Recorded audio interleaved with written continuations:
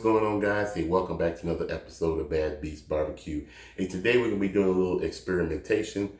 We have a bunch of chicken wings upstairs that we're uh, going to leave whole. We're not going to separate the flat from the drumettes or remove the tips.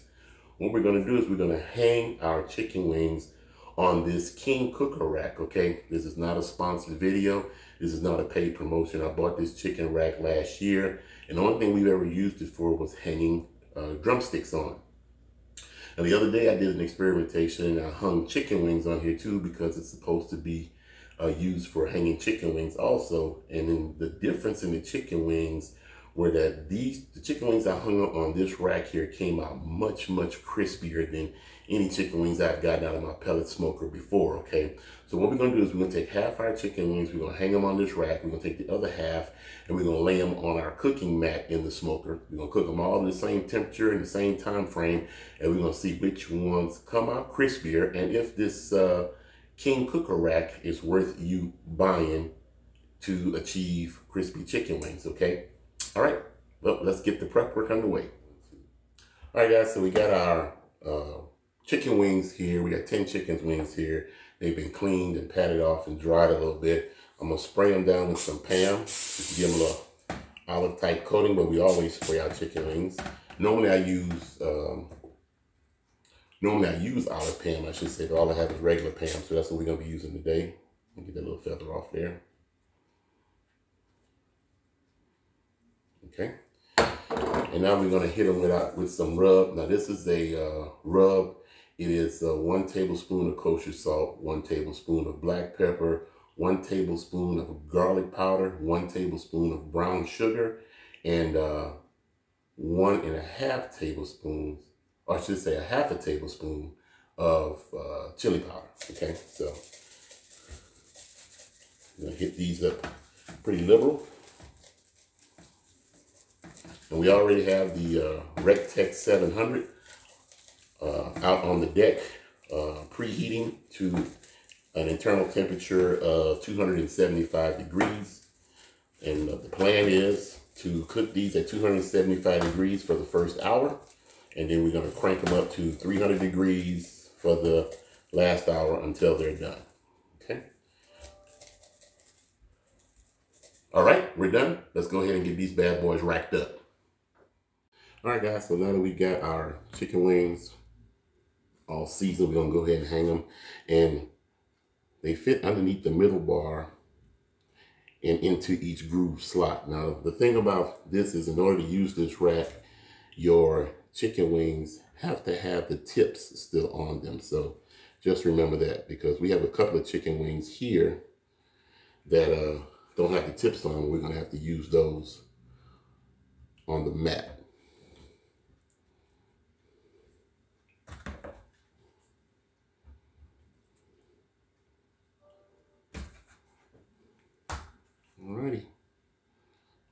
Done.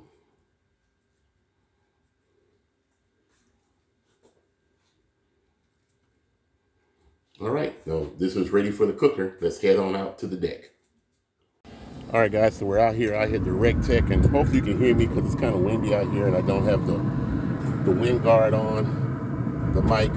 So we'll go ahead and lay these six wings on our mat like we would normally do.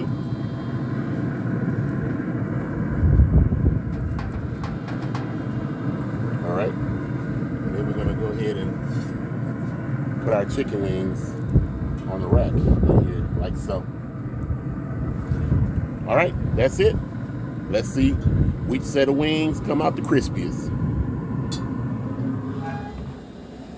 All right, guys, so it's been two hours now first hour at 275 degrees and the second hour at 300 degrees. So let's go ahead and temp these and see uh, what the temperature is.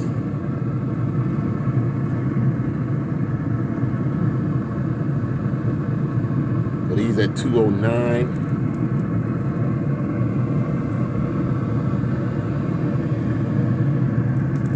And these at 212. All right, so let's go ahead and take them off give them a few minutes to rest and we'll go ahead and test the, uh, the crispiness of the skin. All right, guys, so we're done with our little experiment here. We got 12 chicken wings here. We got the six that are hanging on the rack, and then we got the six that were laying on the mat, okay? Uh, before we go ahead and taste test, let me go ahead and give you a close-up look at these. All right, guys, so here's a close-up look at the chicken wings. Here are the ones that are hanging on the rack. They look fantastic. And here are the ones that were cooked on the cooking mat. Uh, both of the skins of both groups of chicken look pretty tight, so I'm interested in seeing if there's any difference in between the two.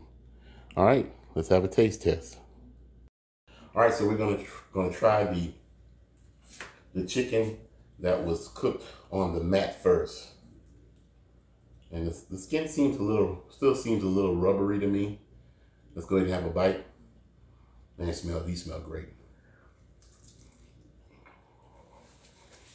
This, the, the skin is sort of crispy in certain areas, but some of them, some of it is still a little rubbery. It's not that bite through crispiness that you look for, but these are some fantastic wings, but the skin is a little rubbery right here.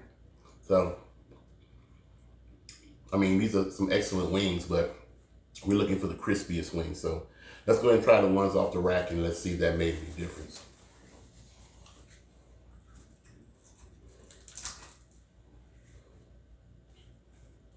Oh, these smell fantastic. Oh, I can hear the skin pop on these here. Yeah, these are definitely much, much crispier than the ones that was laying on the rack. All right, let's have a taste.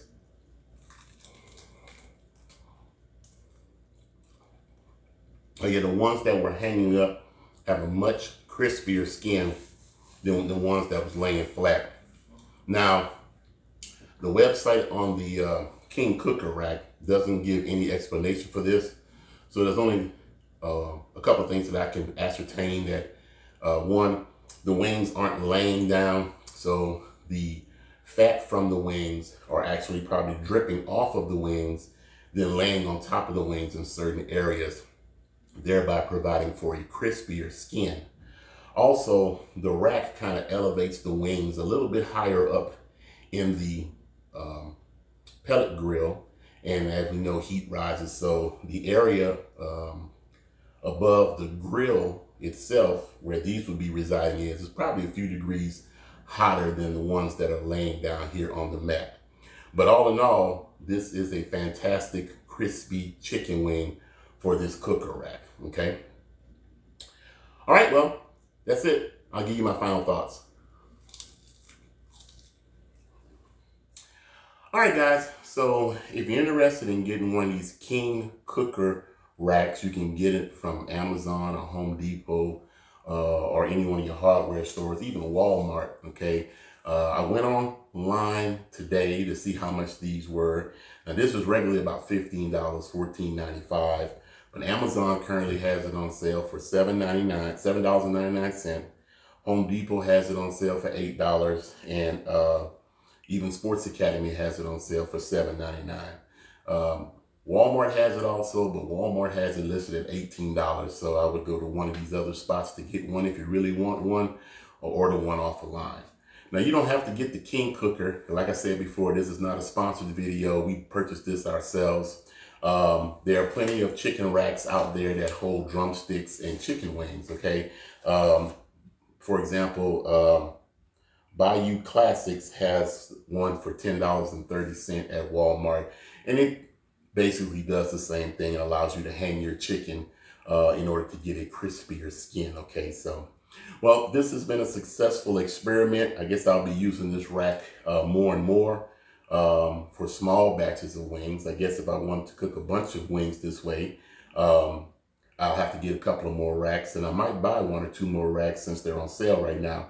Uh, this will hold 12 wings at one time. Uh, the only problem I see with it is that the tips of the wings will cross over under the middle bar, but that's neither here nor there. If they all come out crispy, then they all come out crispy. Um, I mean, normally I cut my tips off of my chicken wings, but these tips on this rack here are so crispy you can almost crunch on the, uh, the chicken tips, uh, the, the wing tips themselves. So, okay. Well, that's about it. Hey, thanks for joining us today. If you guys are interested in a Recteq pellet smoker, check out recteq.com. They have some fantastic uh, smokers out there, okay? And uh, that's about it. So, hey, like we always say, where there's smoke, there's fire. If it's fire, then damn it, there just might be a barbecue there. Hey, as always, hey, we'll see you guys around the smoker.